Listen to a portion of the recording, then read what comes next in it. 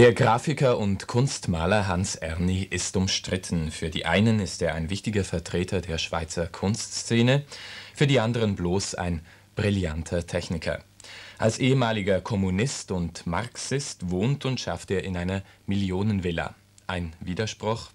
Wie ist der Künstler und Mensch Hans Erni einzustufen?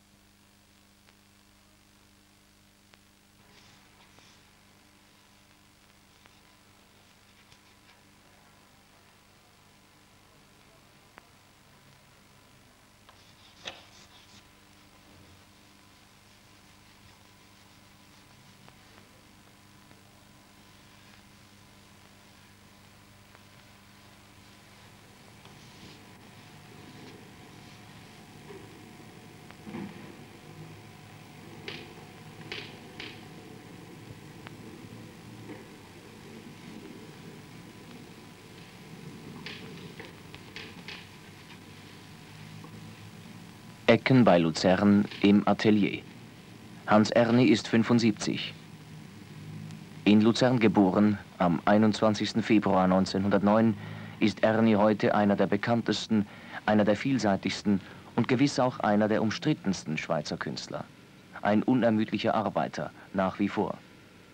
Seine Handschrift ist unverwechselbar, welcher Technik er sich auch immer bedient aber die eigenwillige Bildsprache mit ihren vielschichtigen Überlagerungen von realistischen und abstrakten Formen bleibt immer verständlich und eingängig.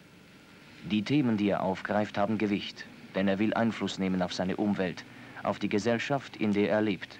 Dem Ungeordneten in der Welt soll neue Ordnung entgegengestellt werden. Ob Briefmarke oder Plakat, Wandbild oder Tapisserie, ob Bühnenbild oder Buchillustration, ob Malerei Grafik oder Plastik, immer ist für Ernie formales Können nicht mehr und nicht weniger als Mittel zur Aussage.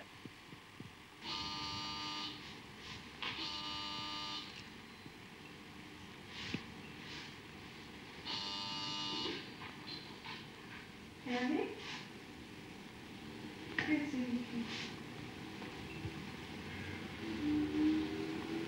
Ja, hier noch Gott,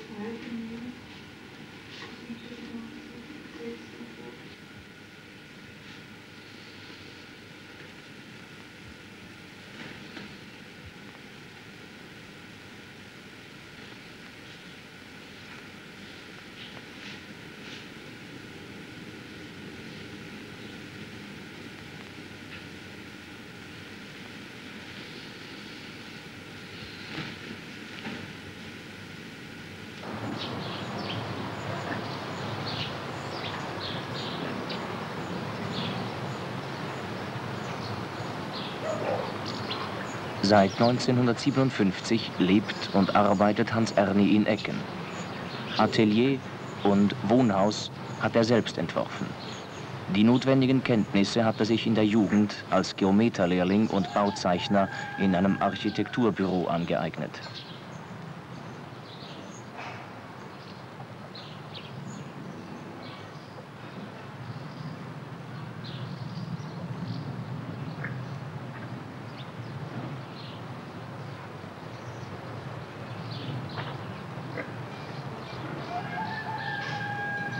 Standort hat Bedeutung. Mitten in einer geschichtsträchtigen Innerschweizer Landschaft von dramatischem Gepräge. Beherrschend das breite Massiv des Rigi. Ihm gegenüber der kantige Felsbrocken des Pilatus. Und tief unten, zwischen ihnen, der unberechenbare Vierwaldstätter See und die Geburtsstadt Luzern. Das ist die Welt, in der der Künstler seine Wurzeln hat. Und immer wieder in seinem zeichnerischen und malerischen Schaffen hat er auf sie zurückgegriffen.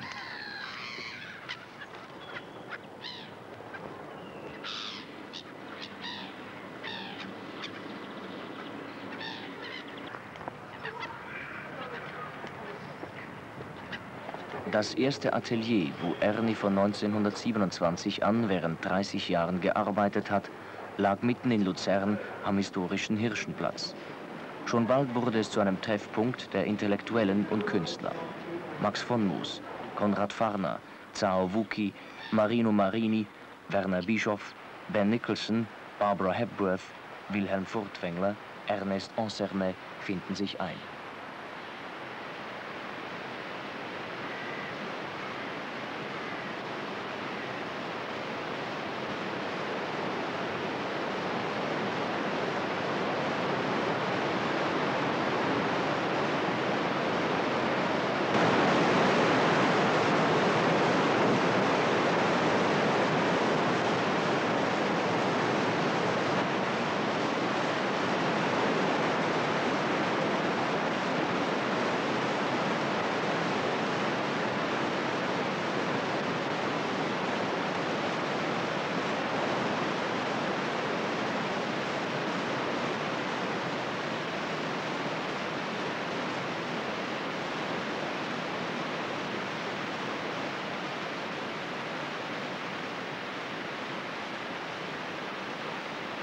Von allem Anfang an ist, mehr oder weniger dominierend, Ernis engere Heimat in seinen Bildern gegenwärtig. 1942 malt er das Luzerner Wehr, Schwelle und Schnecke, der Titel des Werkes. 1944 Luzerns Regierungsgebäude bei der Jesuitenkirche und die hölzerne Kapellbrücke mit dem Wasserturm, Wahrzeichen seiner Stadt. Die Boots- und Schiffsstege am Seeufer stammen aus dem Jahre 1939. 1976 entsteht Der Pilatus hat einen Degen. Drei realistisch dargestellte Bildinhalte treten irreal nebeneinander. Die Kirchen und Türme der fest in die Tradition eingebundenen Heimatstadt. Das Fragment eines Schädels, Symbol des Vergänglichen. Und über der wetterbedingten Wolkenwand der ewige Berg, der Pilatus.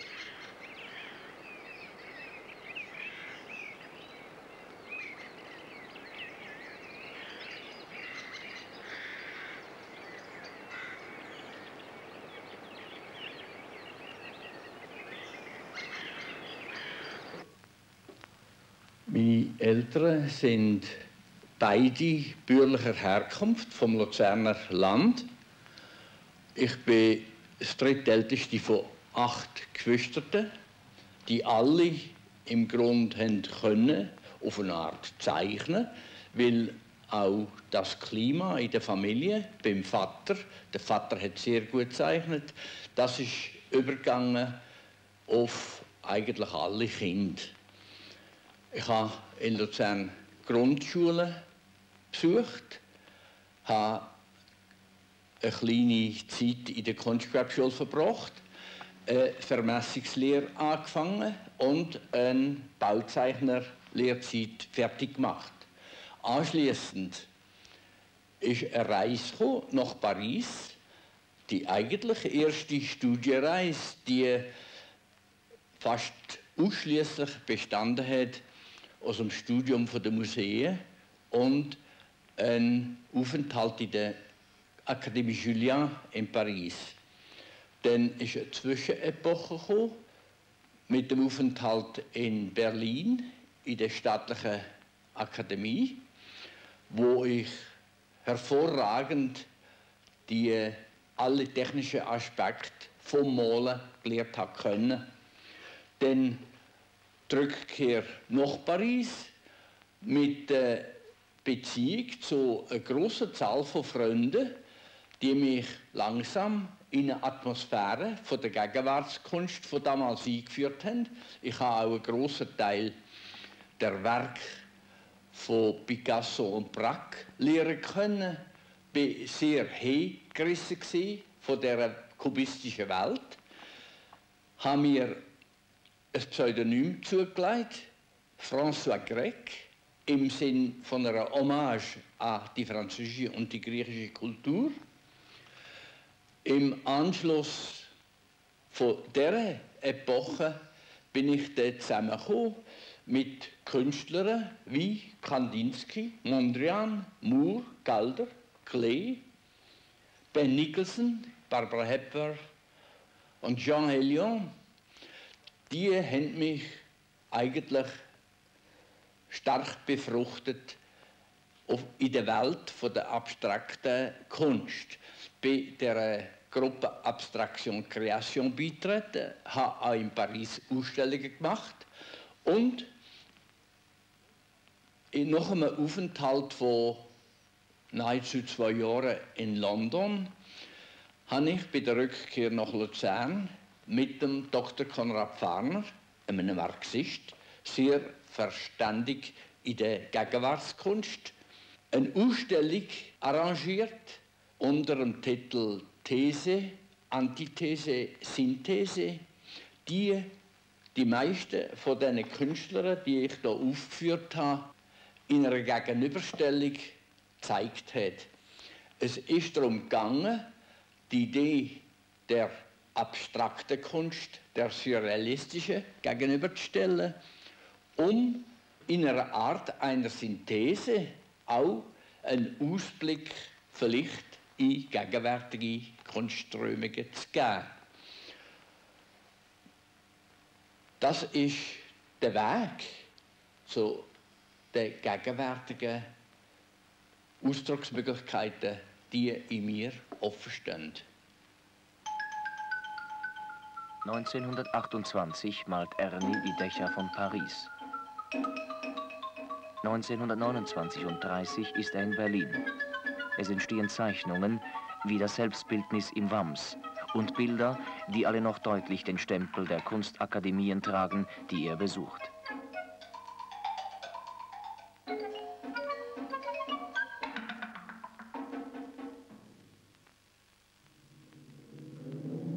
Doch immer deutlicher wird die Auseinandersetzung mit den Strömungen der zeitgenössischen Kunst in seinen Arbeiten sichtbar. Kubistisch etwa mutet die Plastik aus dem Jahr 1932 an. Das Pseudonym François Grec, mit dem er in jenen Tagen seine Werke signiert, ist Ausdruck seines Suchens nach dem eigenen Weg.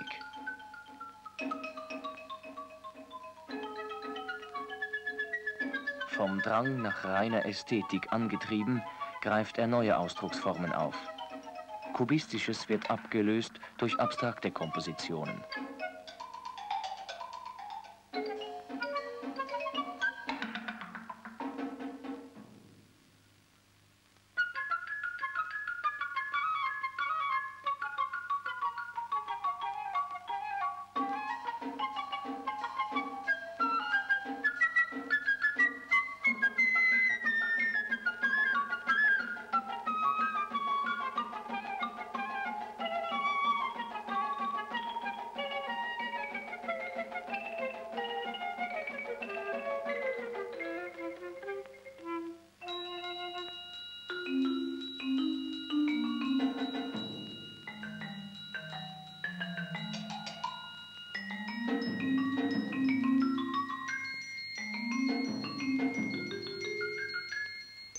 Arbeiten werden jetzt nur noch mit Nummern bezeichnet. Aber schon 1935, Signal einer Wende, tauchen wieder beschreibende Titel auf. Der Inhalt wird wichtig. Das, was mit gestalterischen Mitteln ausgesagt werden soll, die Idee hinter der Form. Panterei, alles fließt, aus dem Jahre 1935 ist ein Beispiel dafür. Ein Thema übrigens, das ihn immer wieder beschäftigen wird. Die Entdeckung des Linearen, jenes grafischen Merkmals jeder Konstruktionszeichnung, jedes Plans, wird zu einem entscheidenden Faktor für die weitere künstlerische Entwicklung. Es entstehen Arbeiten, die als eigentliche Vorstufe der späteren malerischen Interpretationen zu sehen sind.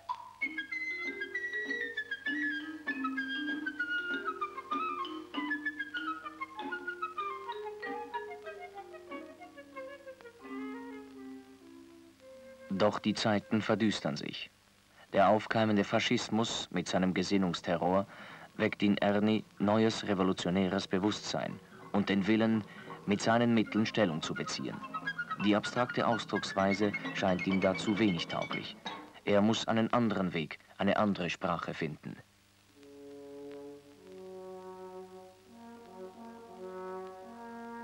Unterdessen hat den in London weilenden Künstler ganz unverhofft ein Auftrag aus der Schweiz erreicht. Für die Landesausstellung 1939 in Zürich soll Ernie, der abstrakte Maler, als Werbung für den schweizerischen Tourismus ein realistisches Wandbild gestalten. Die Schweiz, das Ferienland der Völker. Ernie fügt realistische Einzeldarstellungen, die sozusagen allgemeinverständlichen Elemente seines Bildes, in eine Komposition ein, die geprägt ist vom Umgang mit den Gedanken und Formen abstrakter Kunst. Das gewaltige Werk, es ist 100 Meter lang und 5 Meter hoch, macht an der Landi Furore. Eine breite Öffentlichkeit wird auf den Künstler aufmerksam. Der Grundstein zu Ernis Popularität in der Schweiz ist gelegt.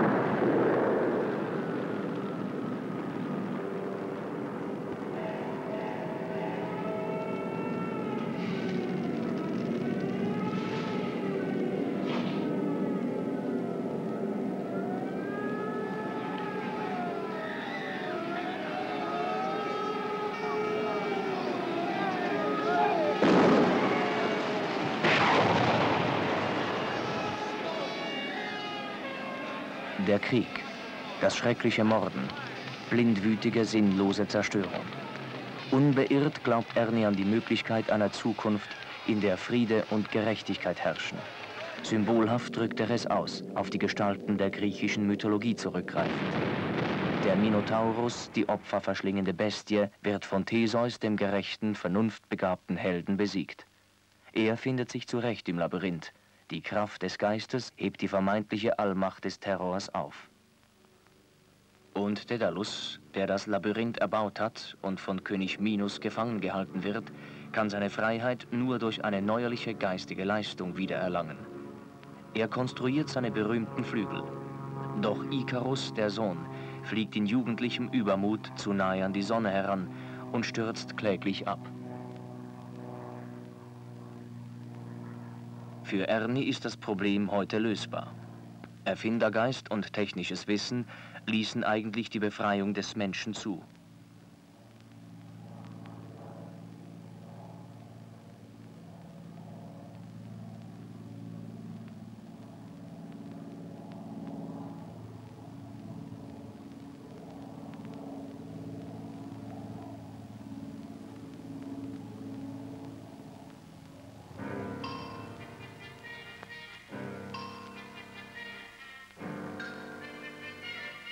Rechnen, planen, bauen und machen die Wüste fruchtbar.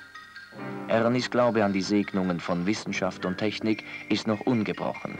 Für ihn ist Fortschritt der Weg, der zu einer freien, klassenlosen, humanen Gesellschaft führt.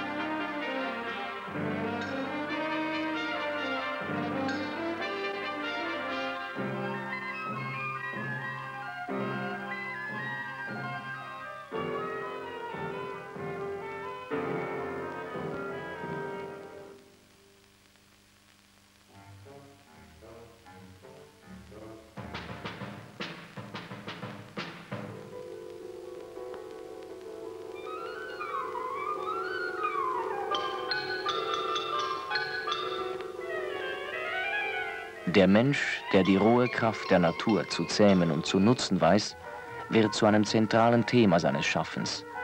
Es entstehen jetzt Werke, in denen er sich selbst als Verfechter einer marxistisch orientierten Weltanschauung empfindet.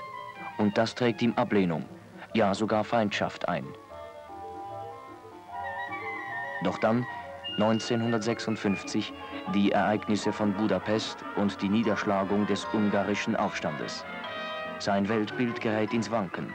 Die Vorbilder sind fragwürdig geworden. Und Ernie beginnt auch am Sinn eines ungehemmten technischen Fortschrittes zu zweifeln. Eine entscheidende, vielleicht die wichtigste Phase seiner Entwicklung geht zu Ende. In einem 1967 aufgezeichneten Fernsehgespräch nimmt er zu dieser Zeitspanne Stellung. Zurück zu dieser Interpellation. Stimmt das, Sie wären Kommunist? Ich antworte Ihnen ebenso direkt, wie Sie mich fragen. Wäre ich nämlich das, dann wären Sie gar nicht hier. Das werden Sie doch bestätigen, Herr Oppenheim. Tatsächlich. Nicht wahr? Es kommt sehr darauf an, was Sie eigentlich unter Kommunismus verstehen. Verstehen Sie unter Kommunismus eine philosophische Haltung, verstehen Sie Sozialismus in gleicher konsequenter Weise angewendet, wie ein Christ, der ein Christ wäre, sein Christentum anwendet. Denn wenn Sie das so anwenden, dann würde ich sagen, dass seit meiner Jugend, nämlich meine christliche, katholische Herkunft, zur heutigen Entwicklung nicht ein sehr großer Schritt äh, ist, denn die Ziele, die im frühen Christentum sich verwirklichen hätten sollen und die Ziele, die sich in einem reinen Sozialismus wirklich verwirklichen würden, das wären Ziele, die uns zu einem Zustand, der paradiesisch sein könnte, führen könnten. Und das ist etwas, das kein Mensch, der guten Willens ist, äh, negieren darf. Äh, was alle Leute machen, nicht alle, aber eine Großzahl, sie verwechseln eine Ideologie, eine reine Ideologie mit einer Partei. Im Augenblick, wo sie ja eine Ideologie einer Partei zum Opfer bringen, ist sie schon erledigt. Aber als Künstler müssen sie, und das ist eine ganz große Selbstverständlichkeit, stets vor Augen ein reines Ziel haben. Ob das nun heute christlich sei oder ob es sozialistisch sei, das spielt eine untergeordnete Rolle. Denn alle Ideologien, alle Philosophien, ob sie nun äh, links oder rechts nun im Volksmund apostrophiert sind, er möchten doch ein Ziel erreichen, das menschenwürdig ist, nämlich die, die menschliche Gesellschaft eben menschenwürdig zu gestalten. Und ich glaube, über das hinaus brauchen wir uns gar nicht zu beschäftigen, denn das wäre schon genügend, um ein Leben dafür einzusetzen. Ich bin weitgehend einverstanden mit allem, was ich da sage. Eine kleine Ausnahme. Ideologie ist etwas Festgefahrenes. Aber eine Idee, das würde ich nach meinem Verhalten das Ganze im heutigen Sinn richtigstellen. Im Selbstbildnis Tagebuch eines Urbanisten aus dem Jahre 1941 ist deutlich der drängende Wunsch ausgedrückt, aus einer erstarrten Gesellschaft auszubrechen.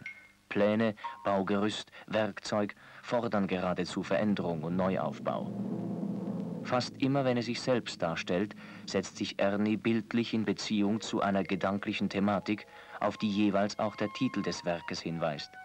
Gehilfe des Fliegers, Konstrukteur, Schulzeugnis. Sozusagen reine Porträts hingegen malt er vom Vater, von der Familie, den Kindern, von Freunden und Fremden.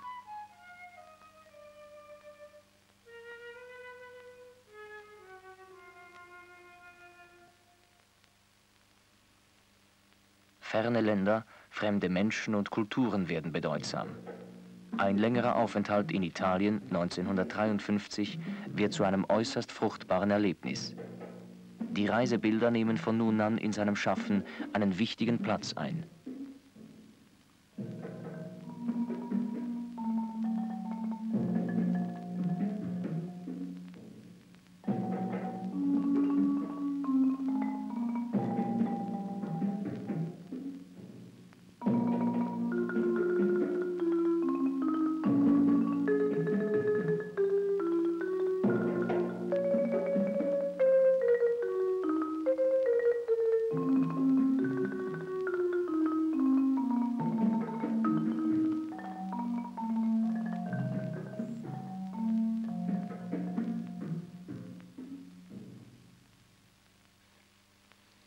Reisen ist mir von jeher eine Freude.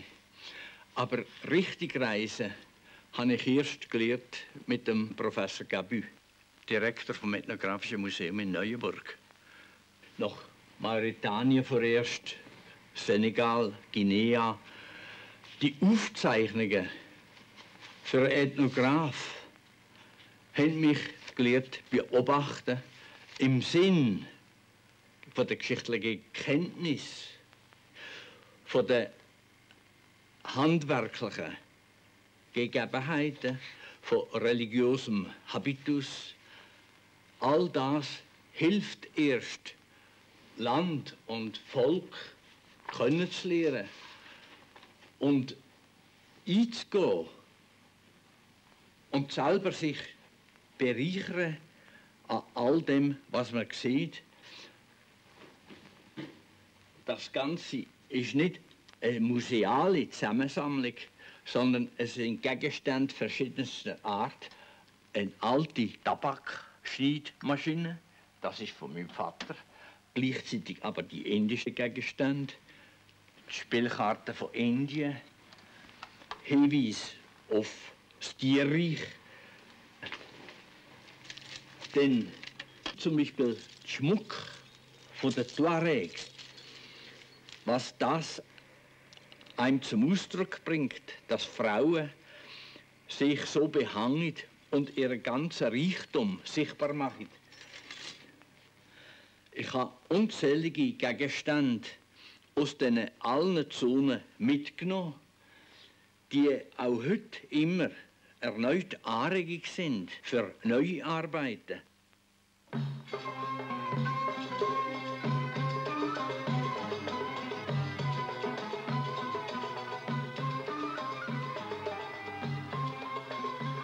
Die Reisen mit Jean Gabu, dem Ethnologen, bereichern Ernis Arbeit in hohem Maße. Die Anregungen durch den Freund und Wissenschaftler wie die unmittelbaren Reiseerlebnisse fließen in ein immer umfangreicheres Werk ein, das noch heute ständig wächst.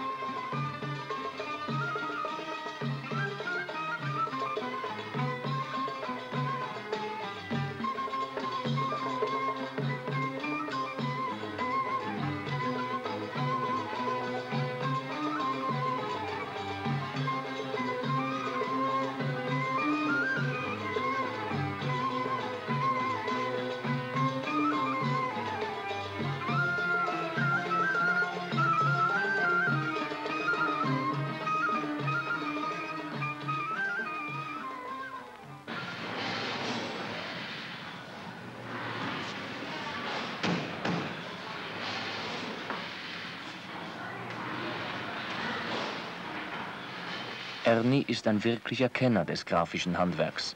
Kaum eine Technik, die er nicht beherrscht. In seiner langen Künstlerlaufbahn hat er in mancher Werkstatt gearbeitet.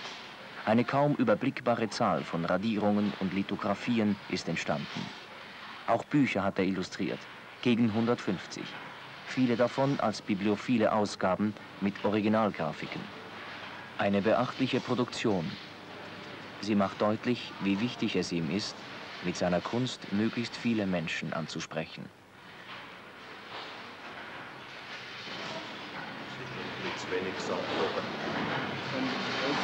oben, noch ein bisschen intensiver rot haben. Ja. Auch da unten äh, fände ich es wärmer grün, wo weniger schwarz ist, wo mehr das Grau runtergeht.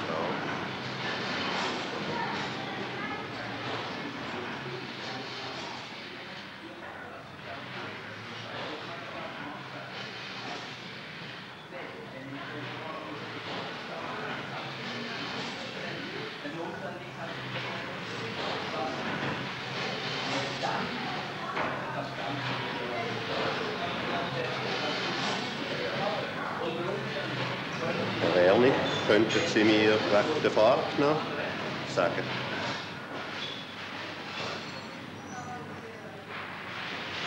Ich würde mal hier versuchen mit einem hellen, ganz hellen Gelb, dass es auch nur gerade noch die Struktur Ja. drauf äh, sichtbar ist. Und da würde ich vielleicht intensiver von dem Gelb in ein Gelbgrau, wo fast Ja. grünlich würde. Ja.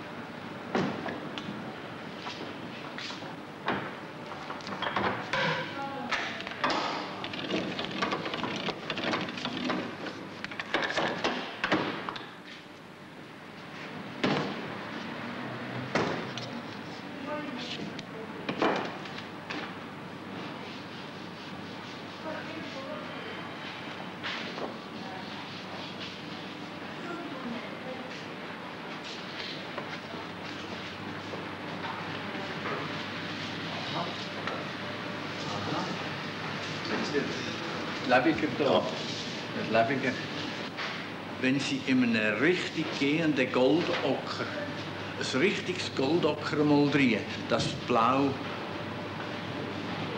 dass nur noch das Blau vorkommt, das ja schon da ist, das ist da drinnen. Die da sind nämlich rötlicher als der. Der zweite. Dann würde ich einmal mit dem oben farbig gleich gehen, Ja. das Schwarz drin und unten das Goldocker lassen. Der Toro drauf liegen, Ja. auf einem hellen Ja. Goldocker. Das auch äh, deckende Kraft Ja. hat.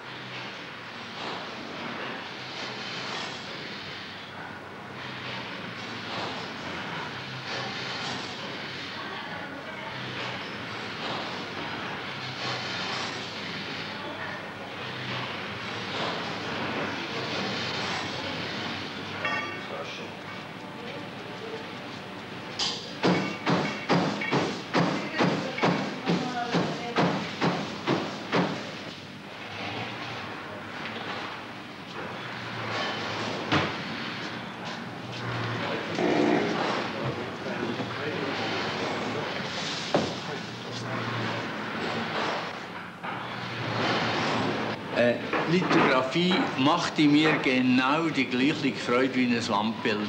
Ich kann keinen Unterschied machen. Die Investition vom Mensch in die Arbeit ist genau dasselbe. Aber Lithografie hat noch etwas anderes, nämlich es ist nicht nur ein, ein Original, wo übrig bleibt, sondern es sind vielleicht 150 Original, die verteilt sind und damit auch viel eher käuflich sind. Es ist also nicht mehr in dem Sinn Sache von einem Privileg, ein Original zu haben. Es ist ein Original, aber es ist ein Original, wo vielen zugänglich ist.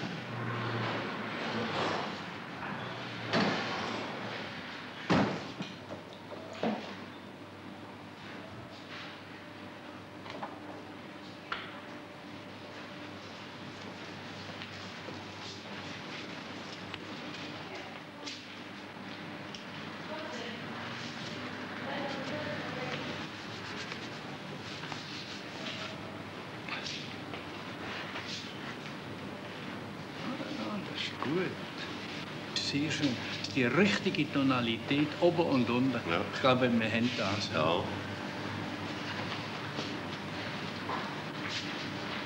Doch. Ich glaube, das, das ist ein.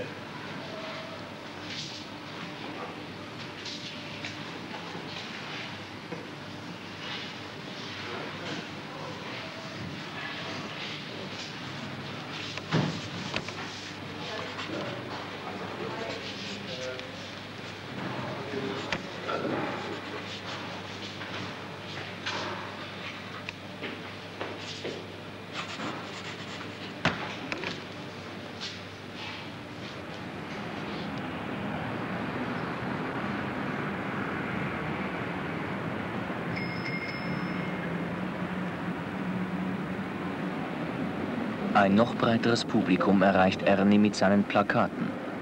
Gegen 200 Entwürfe hat er geschaffen. Viele davon gelten als Höhepunkte schweizerischer Plakatkunst. Auch hier, hier ganz besonders, will er Stellung beziehen, öffentlich wirken, Denkanstöße vermitteln.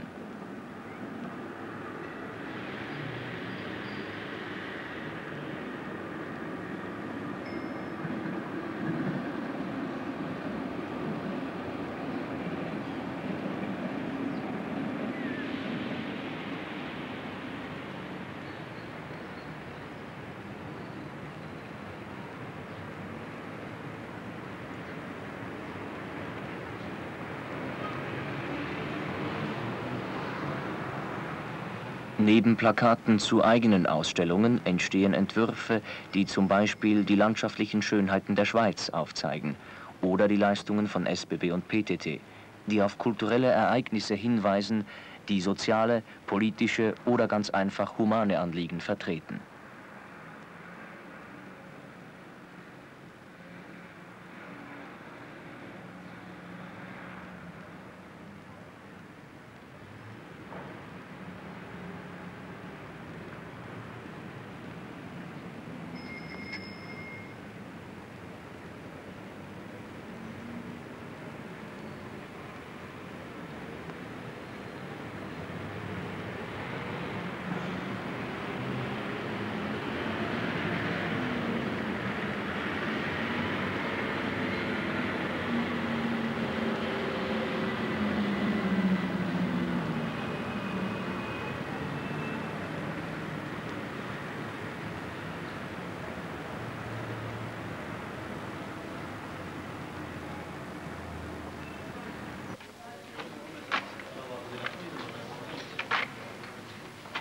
Die Aussage, die Botschaft ist wichtig. Und dabei spielt es für Ernie keine Rolle, ob er an einem Riesengemälde arbeitet oder eine winzige Briefmarke entwirft. Naturschutz, Wissenschaft und Technik, Sport, bedeutende Menschen, Soziales sind die Themen, mit denen er sich hier beschäftigt.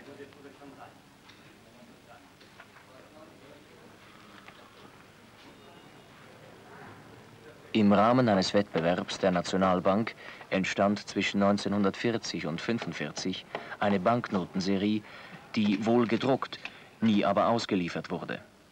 Ein Parlamentarier hatte im Nationalrat den als revolutionär verschrienen Künstler angegriffen. Mit Erfolg.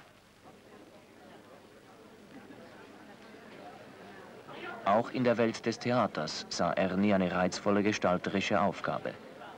Zwischen 1946 und 1963 hat er Bühnenbilder und Kostüme für Werke von Honecker, Mozart, Strawinsky und Kelterborn entworfen.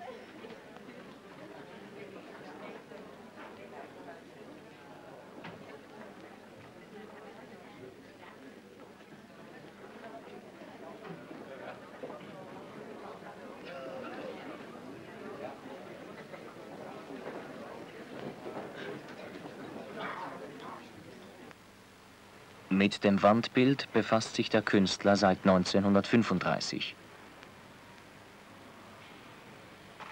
1954 arbeitete er an einem Monumentalfresko für das Ethnographische Museum Neuenburg. In Die Entwicklung der Menschheit versuchte er erstmals, sein eigenes Geschichtsbild sichtbar zu machen. Von der Höhlenmalerei bis zum Atommodell spannt er den Bogen seiner Darstellung in der sich bereits deutlich die typische Überlagerung und Durchdringung der thematischen Elemente abzeichnet.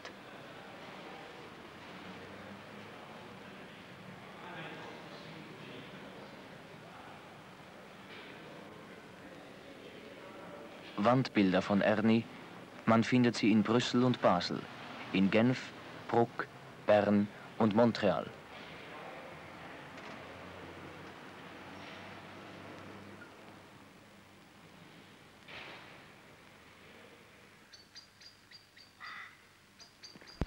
1971 gestaltet er für die Talstation der Luftseilbahn von Verbier ein großes Relief mit dem Titel Urnatur und Menschenwerk.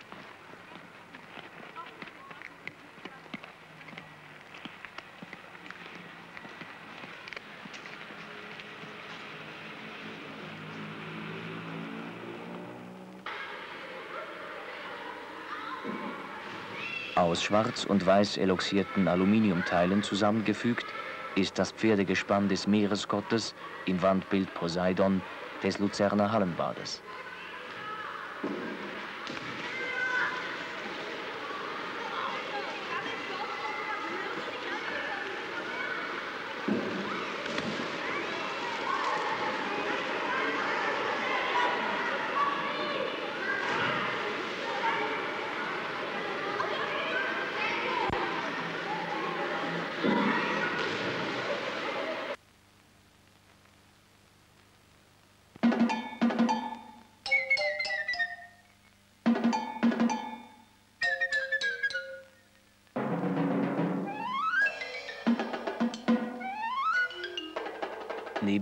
Großen, arbeitsintensiven Werken entstehen laufend kleinere, stillere Bilder.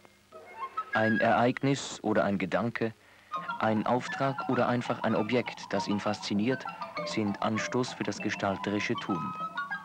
Immer wieder das vielschichtige Neben- und Ineinander einzelner Bildinhalte. Auch aber konzentrierte Aufmerksamkeit für lebende und tote Natur. Beschränkung auf den Gegenstand der Beobachtung.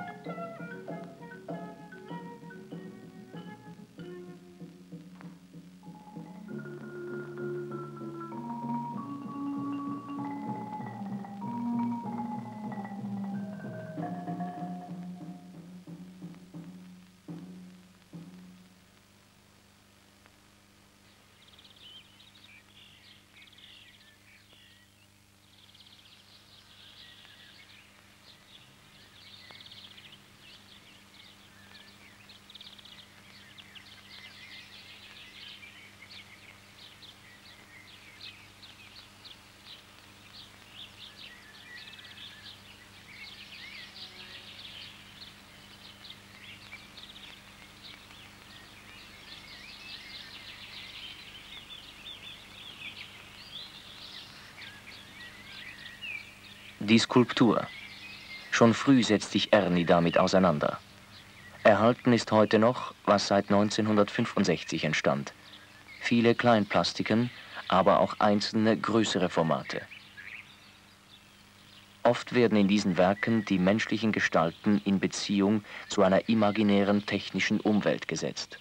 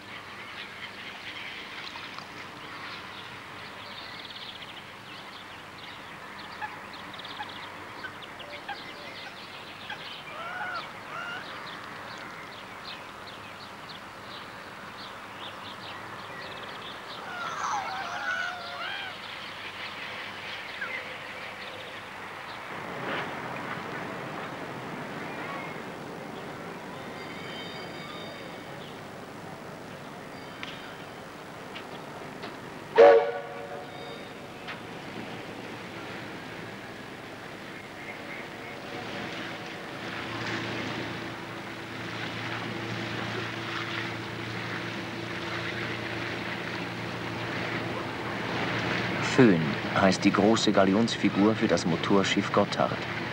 Es ist auch eine Hommage an den Vater, der auf einem Vierwaldstätter Seedampfer als Maschinist arbeitete.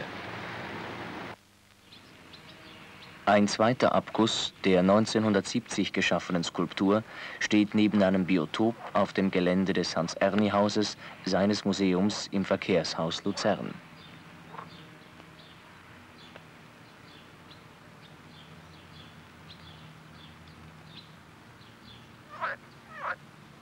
Am 15. September 1979 wird das vom Genfer Architekten Jean-Marie Ellenberger entworfene Gebäude von Bundespräsident Hans Hürlimann eingeweiht. Über 300 Bilder und eine Vielzahl von Zeichnungen sind hier ausgestellt. Ein Querschnitt durch die Gesamtheit des so vielgestaltigen Werkes, ein Einblick auch in das Charakteristische dieser künstlerischen Gestaltungsweise. Ernie selbst sieht in dem Haus nicht bloß das Museum. Für ihn ist es in erster Linie Ort der Begegnung, des Gesprächs. Im Auditorium, wo sich die unterschiedlichsten Gruppen und Vereinigungen zu Sitzungen, Vorträgen, Versammlungen treffen, ist dieses sein Anliegen verwirklicht.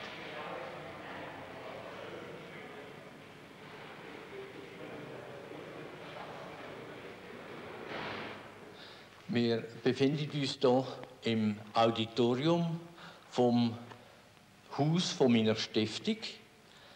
Es ist innerhalb vom Areal vom Verkehrshaus der Schweiz in Luzern. Auf der Freske, die Sie hier an der Wände sehen, habe ich versucht, die Welt darzustellen, die abendländische Geisteswelt, die meine ich gesehen und die mich geholfen hat, formen. Man kann also jederzeit anstelle von diesen Figuren andere Figuren, jedem, jeder seine eigene Figur setzen. Es ändert nichts am Ablauf von der ganzen Freske.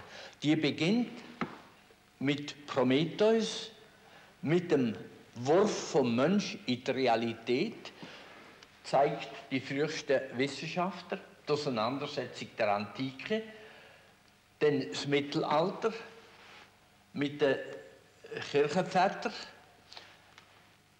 Es geht über in die Renaissance, zeigt die entscheidende Figuren der Renaissance, über das Zeitalter der Erleuchtung, kommt Figur noch Figur bis zur Gegenwart, in der von Darwin, Marx über Freud bis zu Einstein ein Blick ins heutige Leben da wird. Es ist ein Ablauf, der der Ablauf, der geschichtliche Ablauf in meinem eigenen inneren Wesen weitgehend darstellt. Das große Interesse für die Wissenschaft, die Verehrung für jene, die wesentlich die Entwicklung der Menschheit mitgeprägt haben, ist immer wieder sichtbar geworden. Das Bild von Einstein ist ein Beispiel dafür. Oder das von Marconi, dem Erfinder der drahtlosen Telegrafie. Auch das Porträt des Biologen Georges Tessier. Bezeichnend die Fähigkeit des Malers, komplexe wissenschaftliche und technische Inhalte bildlich umzusetzen. Mit sparsamsten gestalterischen Mitteln, mit einigen wenigen Zeichen und Chiffern gelingt es ihm, wie etwa im Porträt Darwins, den Forscher in seiner ganzen Bedeutung darzustellen.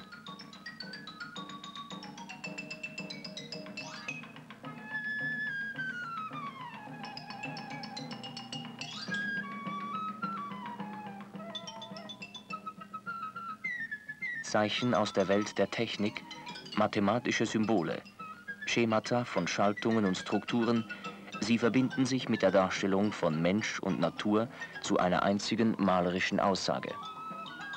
Alles, was man sieht, was man berührt, möchte man ergründen, möchte wissen, mit was man es zu tun hat. So kommt man ganz automatisch, auch als Maler, zu der Frage, was hat, äh, was hat ein Ding für eine Struktur? Man versucht zum Beispiel eine, eine Kristallstruktur, Cholesterin, in der Art, wie das zusammengesetzt ist, zu ergründen. Man sucht Dynamik von, wie eine Sache sich bewegt in der Realität man sieht langsam Identitäten, beispielsweise ein Fisch, ein Fisch, der hydrodynamisch eine wunderbare Form hat, mit ungleichen Längen in der oberen Zone wie gegenüber dem unteren Teil. Dann auch ein Weberschiff, wo ganz andere Funktion erfüllt und doch ähnliche Formen hat, die sich ergeben haben aufgrund von der Arbeit, von der Benutzung. Dann auch der Vergleich von der Hydrodynamik mit der Aerodynamik, das ist ein Gebiet, wo mich besonders interessiert hat, weil da eine Identität besteht, die sich ganz klar in der Form ausdrückt. Denn auch da, in der Aerodynamik, ist ja die Verschiedenheit von der Form und von der Längen von der Form oben oder unten hat einen Bezug mit dem Auftrieb.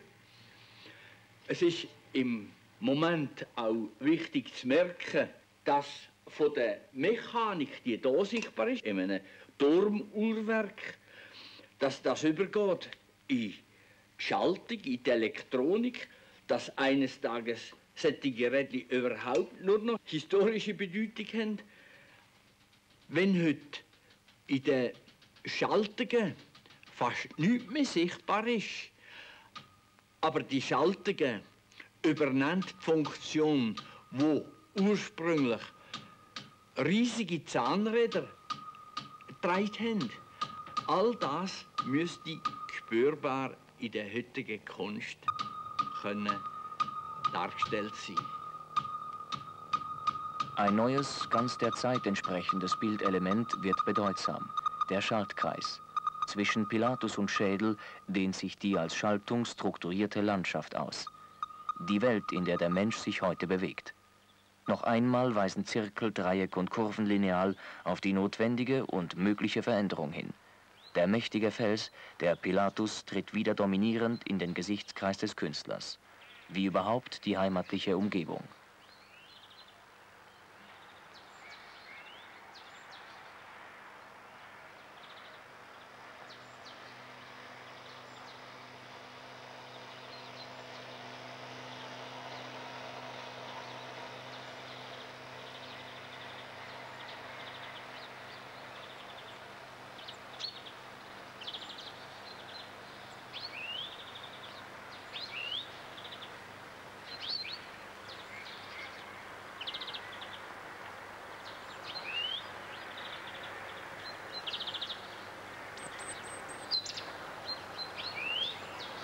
Ungebrochene wilde Kraft der Natur gibt manchmal, überraschend, ihr Geheimnis preis.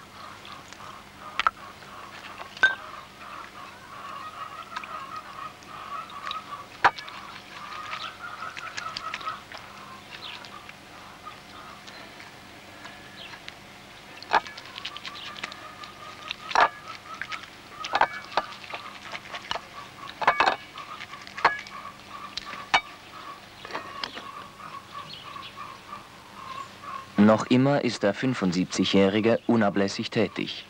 Aufmerksam auch für all das, was scheinbar zufällig sich ereignet.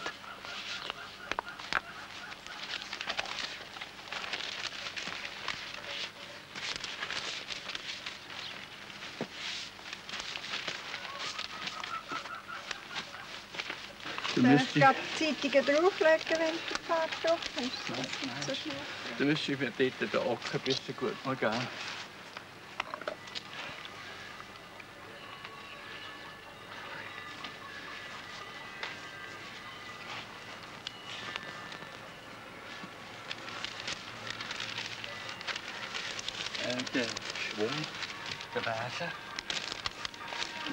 Und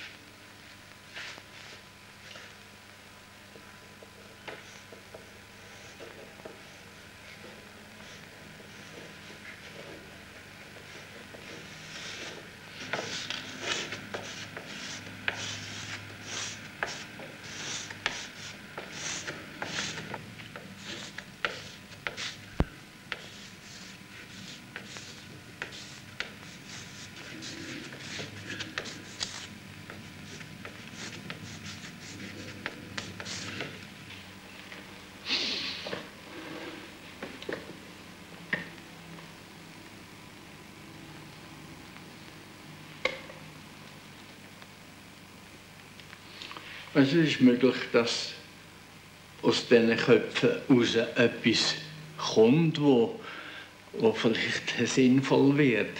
Aber jetzt noch eigentlich erst für mich eine, eine formale Andeutung ist, wo ich sehe nämlich den Berg in